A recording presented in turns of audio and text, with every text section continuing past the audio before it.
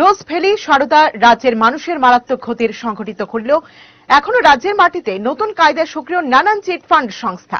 অনলাইনে এরা ব্যবসার ফাঁদ তৈরি করে টাকা লুটছে। এক্ষেত্রে রাজ্য পুলিশের গোয়েন্দা দপ্তরের ভূমিকা নিয়ে প্রশ্ন উঠেছে। রোজভ্যালি সারদা নামক চিটফান্ড সংস্থাগুলি ত্রিপুরা মানুষের বুক চিরে নেবার পরেও এখনও যথেষ্ট সক্রিয় বিভিন্ন চিটফান্ড সংস্থা। করোনাকালীন সময় রাজ্যে অনলাইনে মাইক্রো ফাইন্যান্স বিজনেস মার্কেটিং এর নামে বেশ কয়েকটি company website page, YouTube channel খুলে রাজ্যের মানুষের কষ্টার্জিত টাকা পয়সা লুটে নিয়ে গেছে।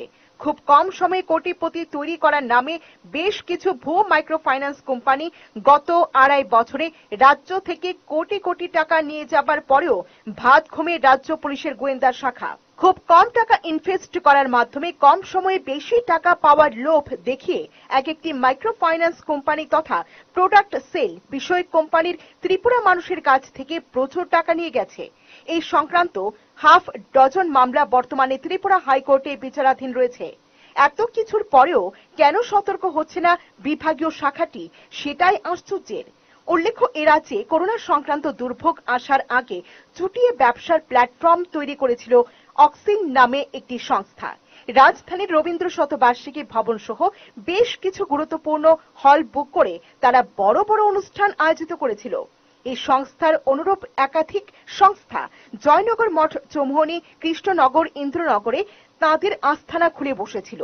এই সমস্ত সংস্থাগুলির বিভিন্ন অনুষ্ঠানে দেখা গেছে, এ রাজ্যের তাবর তাবর কিছু ব্যক্তিত্ব অংশগ্রহণ করেছিলেন। পুলিশের প্রাক্তন অফিসার সহ একাংশ নেতা ওই সমস্ত সংস্থাগুলির চেয়ার আলো করে বসেছিলেন।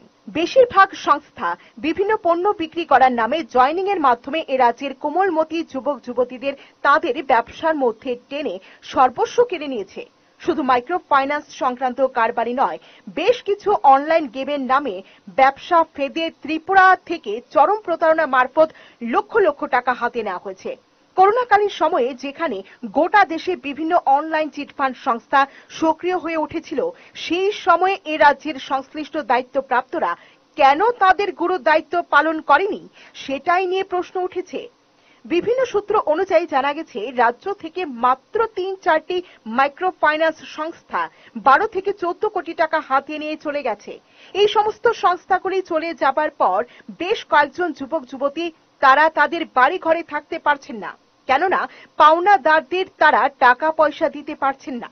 প্রশ্ন উঠেছে, আর কবে এই সমস্ত অনলাইন চিটফান্ড সংস্থাগুলির বিরুদ্ধে আইনি ব্যবস্থা গ্রহণ করবে রাজ্য পুলিশের গোয়েন্দা শাখা? দিনকে দিন তো সাধারণ মানুষের সমূহ ক্ষতি সংগঠিত হচ্ছে। জরুরি পদক্ষেপ গ্রহণে এক্ষেত্রে আর কত সময় নেবে দায়িত্বপ্রাপ্তরা? সেটাই প্রশ্ন। Bureau report, headlines Tripura national.